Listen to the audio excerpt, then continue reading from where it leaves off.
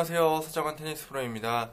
네, 오늘은 간단하게 할 수 있는 그립 전환 연습법에 대해서 여러분들께 소개를 해드리도록 하겠습니다. 테니스에 입문하신 지 얼마 안 되신 분들이 어, 포핸드를 치다가 갑작스럽게 백핸드로 공이 왔을 때 순간적으로 그립 전환이 어렵다라고 예, 말씀을 하시는 분들이 상당히 많습니다. 테니스 준비 동작에서는 항상 포핸드 그립을 잡고 준비를 해주시는 것이 좋습니다.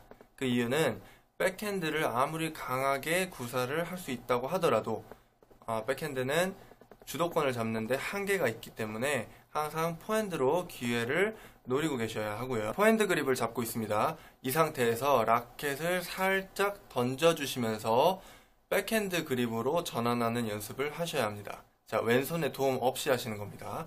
포핸드 그립에서 백핸드 그립. 다시 포핸드 그립. 백핸드 그립. 이런 느낌으로 어, 자유자재로 포핸드에서 백핸드로 전환하는 연습을 처음에 해주시는 것이 좋고요. 나중에 발리나 스매싱 그립을 추가하셔서 같이 연습을 해주시면 당연히 더 좋으시죠.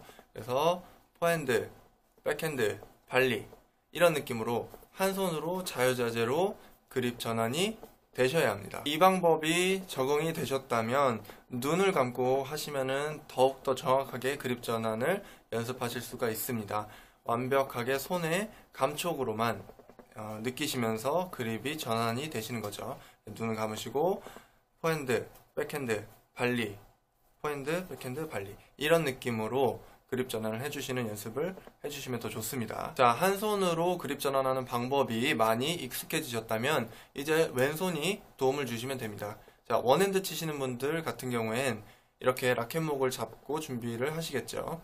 그래서 포핸드를 치시고 백핸드로 공이 왔을 때 왼손으로 그립을 돌려주시는 겁니다.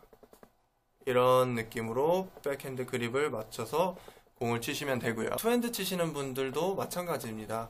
양손으로 그립을 잡아주신 상태에서 포핸드를 치시고 백핸드가 왔다면 왼손으로 그대로 그립을 돌려주시는 겁니다.